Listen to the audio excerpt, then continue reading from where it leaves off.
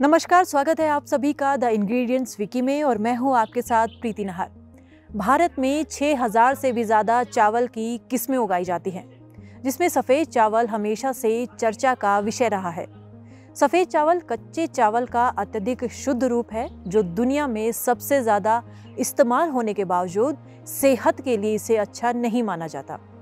चोकर और अंकुरित सामग्री को अगर डेली डाइट में लिया जाए तो वे काफ़ी फ़ायदेमंद होती है। और इनमें फाइबर के साथ साथ पोषक तत्व भी होते हैं, जो सेहत के लिए लाभदायक होते हैं। तो आज जानेंगे चावल की एक ऐसी किस्म के बारे में जो सफ़ेद नहीं है और जिसका नाम है राजामुड़ी चावल।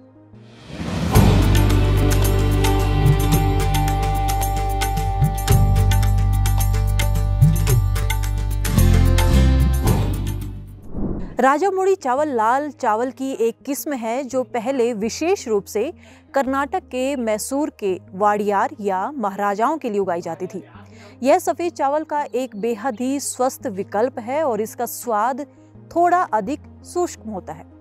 ये चावल काफ़ी लोकप्रिय है क्योंकि इसमें फाइबर एंटीऑक्सीडेंट और आयरन का आ, अच्छी खासी मात्रा पाई जाती है।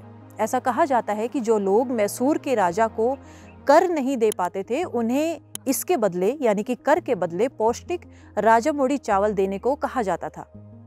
राजामोड़ी चावल बिना पॉलिश किया हुआ चावल होता है जो लाल और भूरे रंग के मिश्रण में होता है।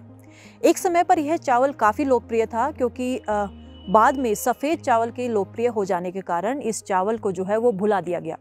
जैविक और स्वस्थ चावल के प्रति जागरूकता बढ़ने के बाद पारंपरिक राजामुड़ी चावल को भी प्रमुखता मिली और रोज़ाना के खाने में आजकल लोग राजामुड़ी चावल का इस्तेमाल भी करने लगे हैं। बात करें राजामुड़ी चावल के हेल्थ बेनिफिट्स की तो पॉलिश किए हुए चावल की तुलना में इसमें अच्छा फाइबर होता है। यह एंटीऑक्सीडेंट फाइटोन्यूट्रिएंट से भरपूर है।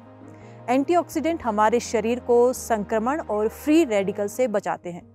साथ ही राजामुड़ी चावल शरीर में हड्डियों को मजबूती प्रदान करने के लिए भी जाना जाता है, क्योंकि इसमें लो ग्लाइसेमिक इंडेक्स भी होता है। बात करें इसके खाने की तो इसे डोसा, इडली जैसे व्यंजनों में नियमित सफ़ेद चावल से आसानी से बदला जा सकता है। और इसके चावल के आटे का उपयोग रोटियाँ बनाने के लिए भी कर सकते हैं। पुलाव हो गया, फ्राइड राइस या इस तरह की चीज़ें में जो रोज़ाना आप चावल का इस्तेमाल करते हैं, उसमें आप राजा मुड़ी चावल का इस्तेमाल कर सकते हैं। इसे बनाने से पहले ख्याल रखें कि इस चावल को थोड़ा सा भिगो कर रखना पड़ता है और उसके बाद ही आप इस चावल को बनाएँ, क्योंकि ये चावल थोड़ा सा सख्त होता है। तो ये थी जानकारी चावल की इस किस्म की, जिसे कहते हैं राजामुड़ी चावल। आज के वीडियो में इतना ही। मिलेंगे अगली वीडियो में किसी नए इंग्रेडिएंट के साथ। तब तक के लिए अलविदा।